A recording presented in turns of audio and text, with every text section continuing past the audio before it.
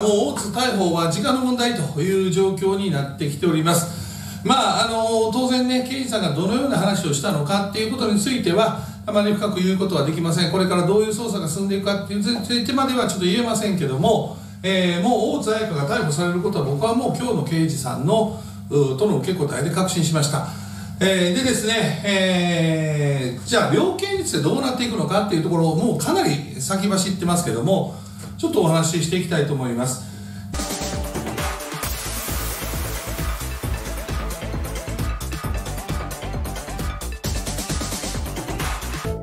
で昨年の5月10日にですね大川博まあ、大津彩香投手ですね。大津彩香投手秘書の大川博君そして、えー幹事長の黒川敦彦去年の5月の10日ですね。我々があ闘争会を開いた多くの方にこの参議会館にお越しいただいたあの日の午後ですねお昼過ぎにこの3人が記者会見をしていました。で、えーこの記者会見ではですね、えー黒川敦彦や、まあ、大津彩香そして黒川大川博がですね立花は間もなく逮捕されるということを記者会見で言いました、えー僕はあれから逮捕されておりません、えーちなみに、えー大津彩香に対してですね昨年の5月10日私が逮捕されるというような名誉毀損する発言をしたことについては来月8月の7日13時30分から東京地方裁判所419号法廷で、えー民事裁判の判決が出ます。ということでねこいつら人が逮捕される立場が逮捕されると言っときながらお前ら全員逮捕やないかと いう話でちなみに後ろで斉藤君いますけど斉藤君入る？いやいや斉藤君もそういえばさ大津に去年の11月にさ会った時にみんな逮捕されるって言われたよな大津に。いやめっちゃ言われましたよ。言われたよね。あのななんやったら言ってたよな。あのみ美香さんまで逮捕されるっていうことをということを大津彩香が言ってましたので、えー遅くない。あの事故ですけども斉藤健一郎参議院です。よろしくお願いします。でですねちょっとまあこれはもう皆さんちょっとレベル低いところっていうか、あのワイドショーネタぐらいであれするとまずこの大川博君ですね。まあ今はまああの大津彩香のお父さんに訴えられて僕と訴えられてるんで今一緒に裁判戦ってるんでまあ今はまあまあ仕方ないというかまあ彼は反省してるんで仲良くしてますけども大津彩香あ大川博君は逮捕されましたね今年になって。1月かな、彼はあ名誉毀損で逮捕。名誉毀損で逮捕ですよ。で罰金刑、えーいくらかな？10万か20万か30万か忘れました。でその後も実はスピード違反で彼ね逮捕はされてないんですけど起訴されていて、えー懲役3ヶ月執行猶予2年という判決があったということで、まず岡博君逮捕お有罪と。次、えー黒川敦彦君ですね、えー4月のお東京15区選挙妨害、えー自由妨害えーですねで今逮捕ですね。これで彼今3回目の逮捕なのかな。まあもう一回間違いなく逮捕されると思ってるんですけどね。僕に対する名誉毀損と。で黒川君はもうこれ3度逮捕されてるんでほぼ2ヶ月まあいわゆる銃の身から銃の身に慣れてないんですけど彼は今無罪を争っているのであの名誉毀損の方も無罪を争おうとしてると思われますので彼の量刑は実は4年っていうのが選挙の自由妨害。でさらに名誉毀損というのが入ってくるのでこれ併合罪といって、えー4年かける1.5の6年。黒川君はマックス6年の裁判をこれからやっていく。量刑マックス6年。ただまあ黒川君の場合はもう前代未聞のまあそのそもそも 4, 4年の量刑が短いぐらいというようなえー妨害行為がありましたから、まあ、複数の全部で15はあるということなので、まあ、その辺を見て僕は黒川君はやはり無罪を争うということなので、えー6年ということに対してはやっぱり実刑懲役2年あるいは3年の実刑になるのかな、まあ、マックス下手したら4年5年の実刑もあり得ると。社会的に影響が大きいのもそうだし彼はもともとこれは悪くないと言っているので反省の色がない人に関しては、まあ、5年ぐらいの懲役刑が下されるかもしれません。ちなみにガーシーは謝ったでしょそうですね。うん。ガーシーはもう謝罪して謝罪して、もう僕はしませんって被害者にも謝ったから、えー懲役3年執行猶予5年という、まあ、ギリギリのところで止まったんですよ。でもガーシーも人を傷つけたりとかねいわゆる人を殴ったりとか、そういうことしてないんですよね。だからさいわゆるなんていうのかな人を殺したり傷つけたりしてなくて3年執行猶予5年ということなんででガーシーは自ら改め罪を認めていて謝罪しましたけど黒川君は謝罪しないということで僕はやっぱ実刑になるかなとなると思いますこれは。一旦出てきますよ。一旦逮捕からあ保釈が通って出てくるとは思います。一応政治犯なので、えー、出てきて、えー、なんだろう別にその他の罪を犯すことは多分しないと思うので、えー、出てくるとは思いますが最高裁まで争って結果としては実刑になるかなと。まあ実刑食らうかどうかっていうレベルですね。さて、えー、間もなく逮捕される大津彩香さんこれ間もなく逮捕されるとはっきり言ってます、うん、なぜかというとまず構成要件が1個足りない、うん、えー、破産開始決定が確定したらってなってですね。まだ確定はしてないね、最高裁の、うん、決定、うん、最高裁の決定っていうのは期日が設けられるわけじゃなくて、突然やってきます、もう普通郵便で「はいこれ客」ってくるんですそそのスピードです。そのスピード。そんな感じです。だからあのいついつ裁判所に最高裁判所に来てくださいって言うとひっくり返る可能性がある。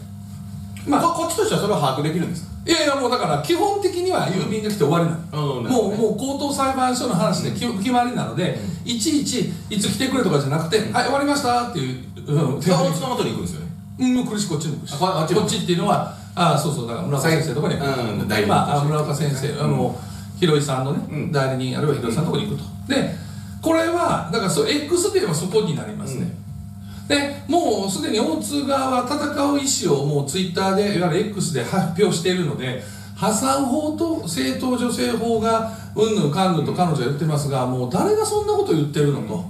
あの少なくとも幹事の豊田弁護士とかの意見を聞いたらいいんだけど僕は昨日の債権者集会で感じたのは、もう大津彩香と豊田弁護士は完全にお前犯罪者俺は知らんみたいな、うん、まあもうお二人いなかったですけど、うん、もうだってだって1800万意外に安いの弁護士を。あそこで明確になったうん。あの丸1年間やったんで、うん、去年の6月から丸1年間やって1800万円、まあ、他の弁護士もいるんで1500万ぐらいなので、で俺の様子感覚では豊田弁護士意外に安くやったな、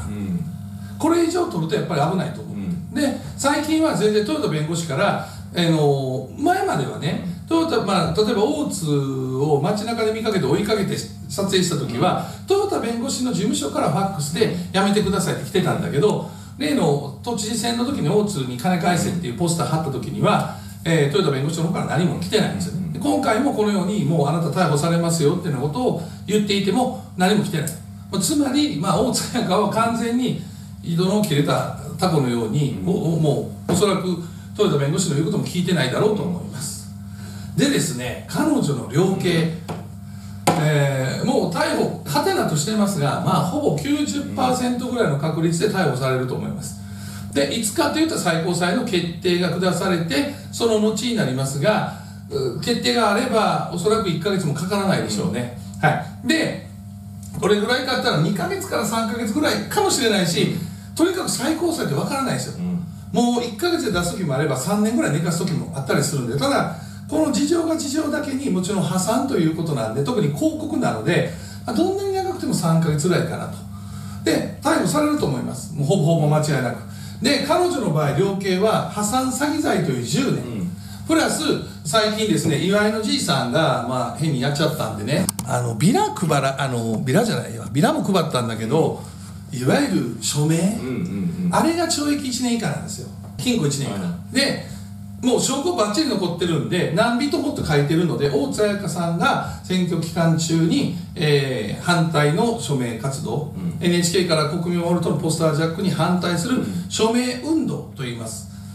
公職選挙の138か6条の 2, 2項ですね。でそうすると黒川君がえー、選挙の自由妨害罪と名誉毀損でかける1.5のようにですね併合罪になってですねこの10年かける1.5倍になるという15年。10マックス15年になります、うん、で金額が昨日大津彩香に金を返せと関西人が言った額が7200飛び3万円です、うん、えー、で4100万円のおそらくお父さんのと、うん、あと知り合いの会社に振り込んで、まあ、4150万円もとにかく真っ黒です。でさらに、えー、2000万円の大津彩香の代表している大津彩香後援会という政治団体が来るでも真っ黒です。この2つだけでも6150万円それ以外に使途不明とか現金を返せと言われて総額7200飛び3万円と。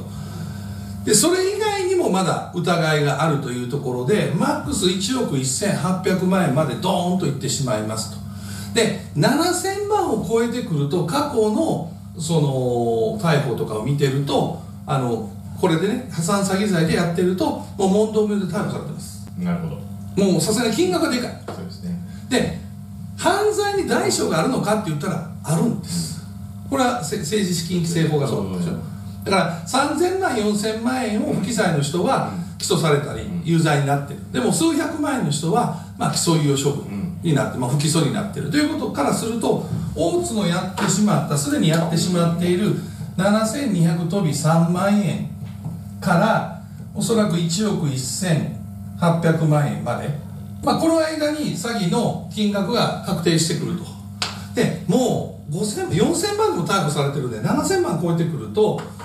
あのーもうもう逮捕されてかつ起訴される、でかつもう一個の方があるんでで1億超えてくると実刑じゃないかな、っていうかまあこれ正直悪質なんですね、パチプロ政治家 YouTuber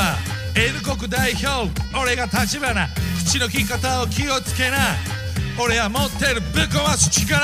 未来永劫不老不死天上天下唯我独尊。売られた喧嘩は買いますせぶっ壊してみな弱小生徒。不倫路上カーセックス。これはアウトなデラックス。反射に過激な集金トラブル。先にセクハラないモラル。